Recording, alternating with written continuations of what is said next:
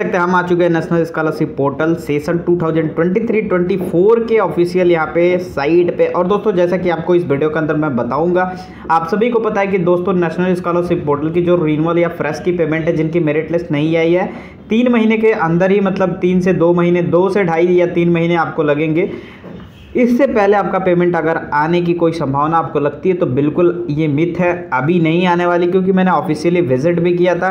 ये लोग ये जितने भी कॉलेज हैं, उन सभी से रिपोर्ट मांगे हैं। इनकी टीम जा रही है बाई मेल बाई पोस्ट या फिर ये खुद फिजिकली विज़िट करके कॉलेज से रिपोर्ट मांग रहे हैं कि कितने स्टूडेंट यहाँ पे नॉमिनेट हैं। उसके अकॉर्डिंग आप सभी स्टूडेंट की मेरिट लिस्ट आगे फर्दर तैयार होगी। अब बात करें, एक बार मैं आगे बढ़ने से पहले बता दूँ, आप सभी स्टूडेंट ये सोच रहे होगे कि तेईस चौबीस हो गया।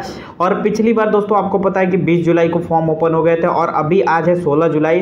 तो क्या चार दिन के बाद फॉर्म ओपन हो जाएँगे? बिल्कुल नहीं, इतना जल्दी नहीं हो सकता। अगर होगा भी तो दोस्तों सिर्फ़ उसी स्कीम की होगी जिसकी पेमेंट मिल चुकी है।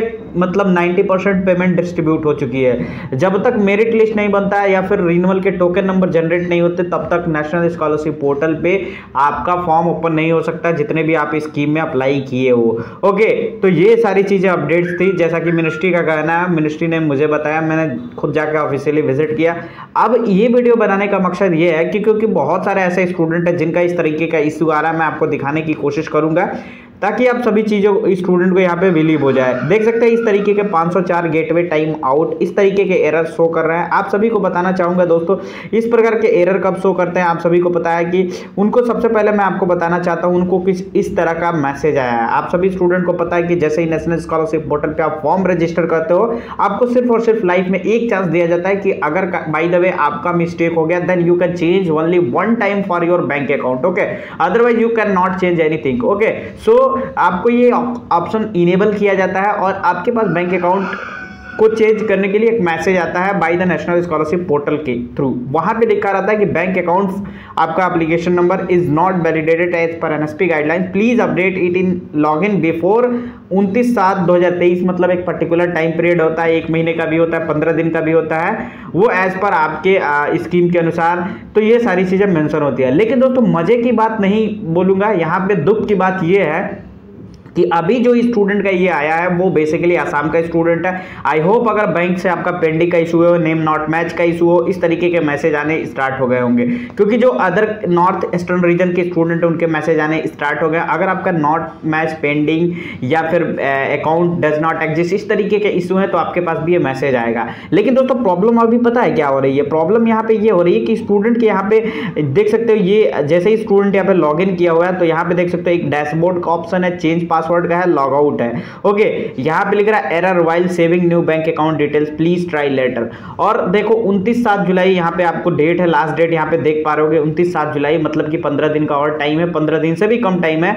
और इनके स्टेटस में ना ही कोई चेंज बैंक अकाउंट का ऑप्शन तो छोड़िए, यहाँ पे चेक योर बैंक स्टेटस का भी ऑप्शन नहीं शो कर रहा है। एक बार आप ज़रूर लॉगिन करके मुझे कमेंट सेक्शन में बताइए कि क्या चेक योर स्टेटस का ऑप्शन आप में भी शो नहीं कर रहा है। तो अब सोचिए, इसके पास इतना टाइम तो है नहीं और फिर कैसे अपडेट करेगा? तो आप सभी स्टूडेंट से इस तरीके के आपके प्रॉब्लम हो सकते हैं। आप सभी स्टूडेंट का अगर बैंक अकाउंट से रिलेटेड कोई भी प्रॉब्लम हो तो इस तरीके के आपको प्रॉब्लम फेस करने पड़ सकते हैं। तो इसलिए आपको क्या करना पड़ेगा, मैं बताता हूँ। आपको आपको नेशनल स्कॉलरशिप पोर्टल पे जाना होगा और वहाँ पर मेल एड्रेस लिखना होगा और जितने भी आपको हेल्प डेस्क के हेल्पलाइन के नंबर होंगे, देखो, ये चीज़ें आपका मिनिस्ट्री बिल्कुल रिजॉल्व नहीं कर सकती क्योंकि यार मिनिस्ट्री जो होती है, वो इंटरनल काम देखती है। ये जो है टेक्निकल इशू है और टेक्निकल इशू ये वेबसाइट से होती है और इस पर लिखा भी है। आप देख पा रहे हो कि यहाँ पे लिखा हुआ है कि मतलब आठ बजे सुबह से लेकर आठ बजे शाम तक, आज तो लगेगा नहीं क्योंकि आज संडे है। तो आप मंडे को ट्राई करिए कॉल करिए। जितनी बार कॉल करेंगे मल्टीपल टाइम कॉल करोगे डेफिनेटली कॉल लगेगा। ऐसा नहीं है कि कॉल नहीं लगता। ये लोग काफ़ी अवेयर है। तो इस चीज़ को लेकर आप कॉल करो मेल करो। अगर मेरी मिनिस्ट्री को बार बार मेल करोगे तो वहाँ से कोई रिस्पॉन्स नहीं आएगा। रिस्पॉन्स आता है, लेकिन दो हफ़्ते, तीन हफ़्ते बाद आता है और फाइनली आपका डेट भी चला जाएगा। इसलिए जितनी जल्दी हो सके नेशनल स्कॉलरशिप पोर्टल के हेल्प डेस्क पे कॉल करो, उनको मेल करो मेल एड्रेस यहाँ पे सब कुछ लिखा है कि कोई भी टेक्निकल इशू आए तो आपको यहीं पे कांटेक्ट करना है, किसी दूसरे से नहीं। जब खुद नेशनल स्कॉलरशिप पोर्टल बता रही है तो फिर आप मिनिस्ट्री से कॉन्टैक्ट करके कोई फ़ायदा है नहीं। तो जितनी जल्दी हो सके, अगर आपका चेक योर स्टेटस का ऑप्शन नहीं आ रहा है या फिर टेक्निकल इशू और आपका स्टेटस नहीं ओपन हो रहा है, जितना जल्दी हो सके हेल्प डेस्क को इतना कॉल करिए, इतना कॉल करिए कि इन लोग कि जो भी चीज़ें टीम है, वो जितनी जल्दी हो सके काम करना स्टार्ट कर दिए। एक बार बहुत सारे स्टूडेंट मेल करें कॉल करें तो डेफिनेटली ये जो नेशनल स्कॉलरशिप पोर्टल जो एक होस्ट की तरह काम करती है, सारे स्कूल को लेके चलती है तो वो डेफिनेटली कहीं ना कहीं आपके प्रॉब्लम को सॉल्व ज़रूर करेगी।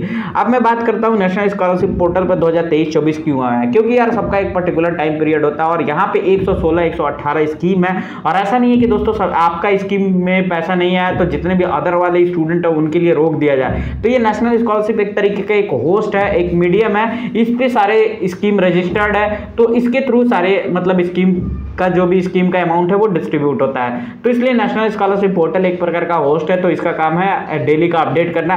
पेमेंट ना आए पेमेंट में डिले हो, क्या स्टेटस चल रहा है, वो सारा चीज़ें आपकी मिनिस्ट्री देखती है, आपकी स्कीम देखती है तो आप उससे कॉन्टैक्ट करें। तो आज की वीडियो बस इतना ही थैंक यू